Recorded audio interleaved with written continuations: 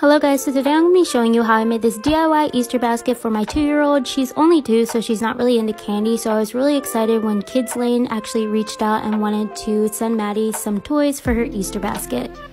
So I started off by finding an Easter basket that I thought was pretty cute, and I filled it with some pink grass. At the end, I actually added more, which you'll see at the end. I knew all the toys weren't going to fit in the Easter basket, so I kind of judged it, and I started out rearranging these fish, then I used the toy cars. Then I thought these little sharks that float in her bath would be cute. This is what it looked like and I thought it needed more grass and a different rearrangement. So I did that and then I added some stickers to Easter eggs. I love how this arrangement came out much better and now I'm going to show you how I'm going to lay out the rest of the toys on Easter Day.